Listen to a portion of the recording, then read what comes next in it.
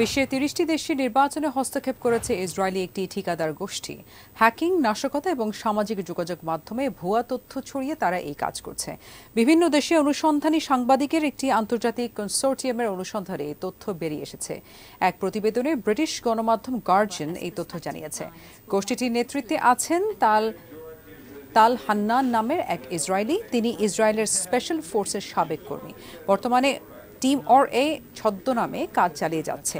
তার দল পরিচালিত হচ্ছে টিম অর এ কন্ডো নামে কোড নামে গোপনে ধারণ করা ফুটেজ ও নথিপত্র টিম অর এর কার্যক্রম ফাঁস হয়েছে। অর এ টিমের হোতা হান্নান সাংবাদিকদের বলেন, বিভিন্ন দেশের গোয়েন্দা সংস্থার রাজনৈতিক প্রচার এবং যেসব বেসরকারি কোম্পানি জনমত নিজেদের পক্ষে নিতে চায়, তাদের হয়ে তারা কাজ করেছেন।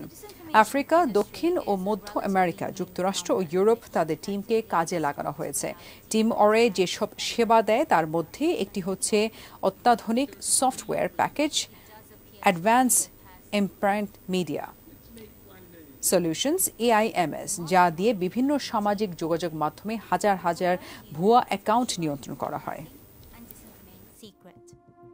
He operates in the shadows using an alias, Jorge. Now, a joint investor.